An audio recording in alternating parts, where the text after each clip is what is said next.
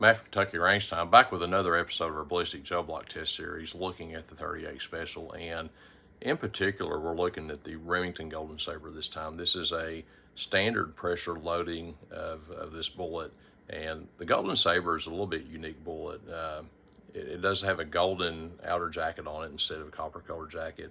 Uh, the other unique thing about this bullet is there's a taper built into this. And what happens is these bullets are typically loaded right down to this and then crimped.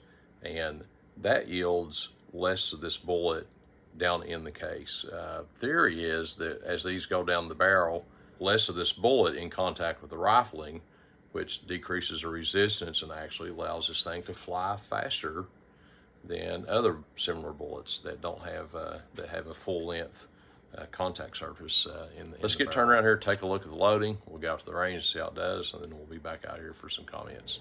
So here's a quick look at the loading. Uh, a light unique powder, CCI small pistol primers, and this Remington 125 grain bullet. Uh, I no longer have the box for that since this is an overloading. Uh, one note, these bullets were weighing in um, heavy, heavier than the 125 uh, grain listed weight. Uh, some of these were weighing in as heavy as 126.3, 126.4. Others were coming in at, at 125.4, 125.5, and pretty much everywhere in between there. So uh, just a note, when you look at the retained weights on, uh, on my spreadsheet, most of them are over 125 grains uh, that, that we would be expecting on these. But uh, all right, let's get out to the range, take a look at these, see what they did in the gel block, and get back in. So next up in our 38 special uh, gel block testing series, I'm going to be changing it up a little bit. I'm moving away from the Hornady bullets that I've been testing temporarily uh, to try this uh, Remington Golden Saber 125 grain load. Uh, I've had this loaded up for several years uh, for 38 special, and I'm, I'm curious to see what this thing does in the gel block. I mean, we we kind of expect what we're going to get out of the out of the XTP bullets. Uh, maybe the expansion uh, is a little less, or maybe the penetration is a little less. But this is a completely different design bullet, and I'm curious to see how this thing does in these five different barrel lengths. So let's get started off. Uh, Rossi R92 20 inch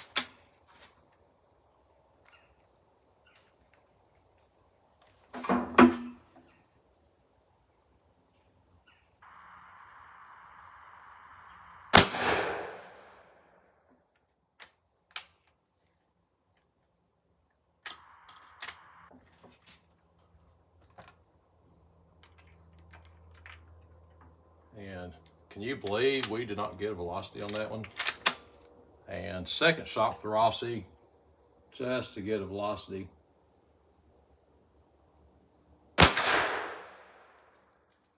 Twelve twenty-four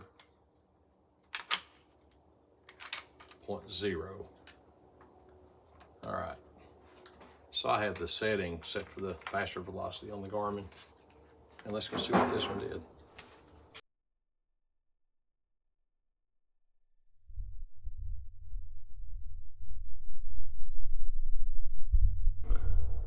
All right, so here's our wound track starting. And uh, track this thing down through here. Looks like we've got about 14 and three quarters inches. And looks like it has expanded fairly nicely. So, uh, you know, not the big uh, dynamic uh, expansion pattern from the XTP bullet, but we did get a nice solid expansion on this. I don't see any fragments off. So I'll be curious to, uh, to get this dug out and see what the retained weight is. All right, let's go back and check the other ones. All right, Remington Golden Saber out of the uh, six and a half inch Taurus tracker.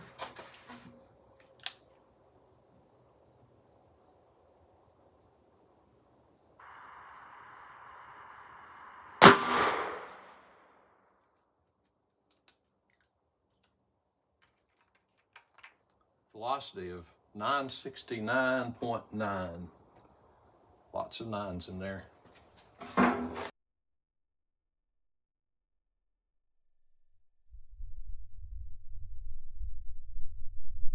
All right, this is our wound channel for this one.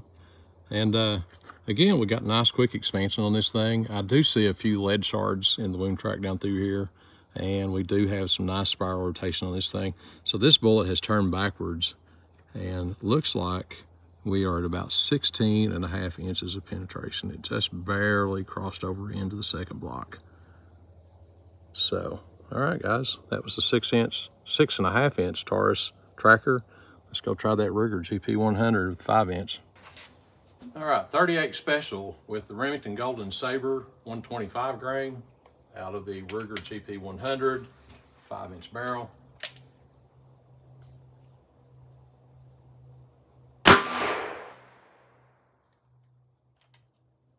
Velocity of 896.2. Let's go see what our catch look like.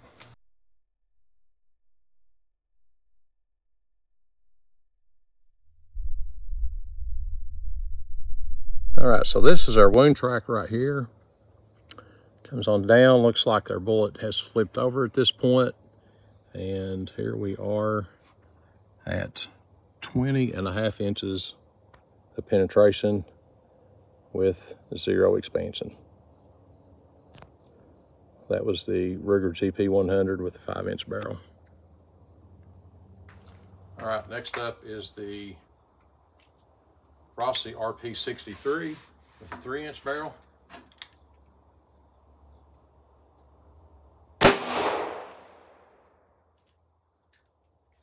Velocity of 879. That's really close to where the five inch velocity was. Let's go see if we got a catch.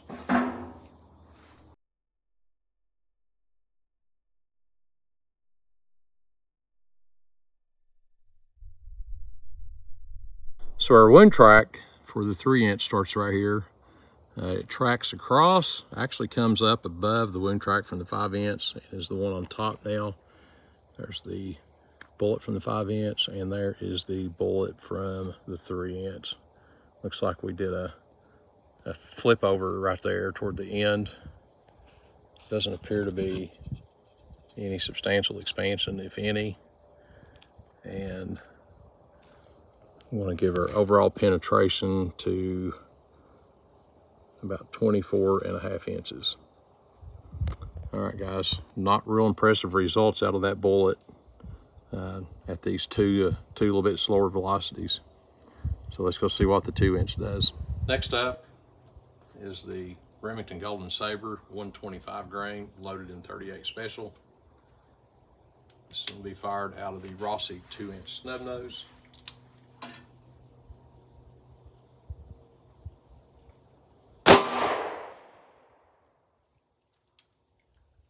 velocity of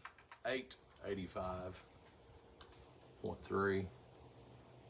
This two, three, and five inch barrel velocities were all extremely close.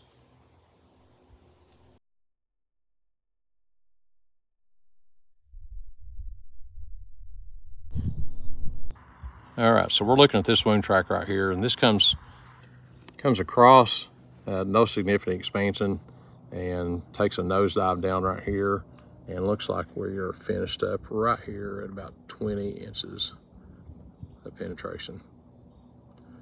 So, all right, guys, that's the Remington Golden Saber. Uh, below 900 foot per second, we got practically zero expansion from a five inch barrel and down. Looks like we barely got expansion on the six and a half inch bullet. And looks like the 20 inch rifle performed well.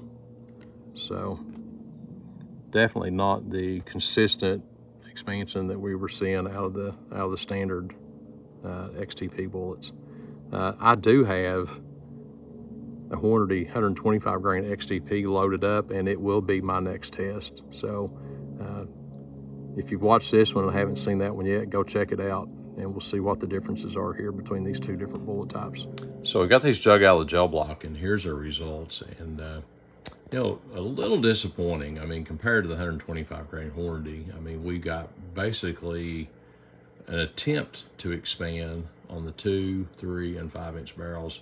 We got some decent expansion out of the six and a half inch barrel.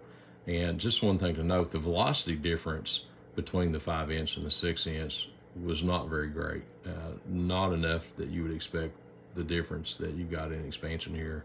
And of course, out of the rifle, um, this bullet did really well. Uh, so that was the that was the outstanding performer was this lever action rifle 20 inch barrel. So that is the remington golden saber. And after this test i'll say this this bullet probably needs to be loaded in a 38 special plus p or even a plus p plus loading to uh, to get this thing to open up and do what it was designed to do in 38 special.